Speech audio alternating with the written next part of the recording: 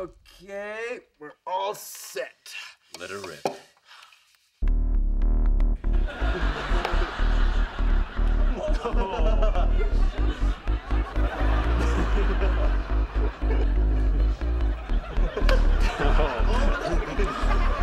Hi. Hey, check it out. It's just cornstarch and water. They make up a non-Newtonian fluid, which is liquid, but solid under the percussive action of the speaker. That's what makes it get all funky.